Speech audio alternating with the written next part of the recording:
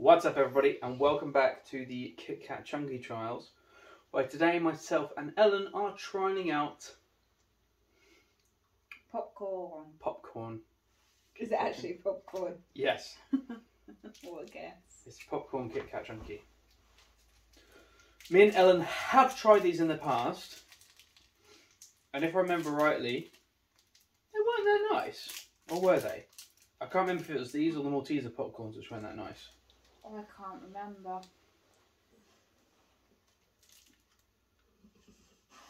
Oh, okay, that wasn't supposed to happen. Well, we've got half each. Yeah. Alright, we've got half each. Well, yeah, but Alright, you be that awkward person. I will. Alright. Let's go. To be fair, that's actually not that bad.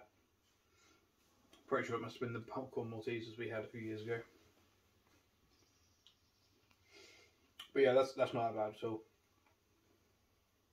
It's a bit like salted caramel, really. Mm. It's crunchy.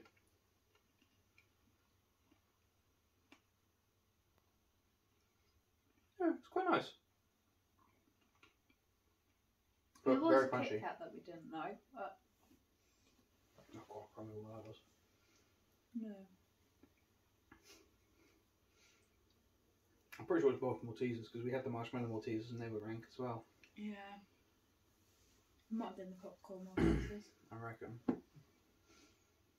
Well, what do you rank that? no, probably about six, five. Really? I wouldn't go out of my way to eat it, but I mean, if it was there, I might eat it, but I could leave it quite happily. Yeah, I'm probably gonna go with a six. hmm Six. Yeah. Mhm. You went for a five. Yeah.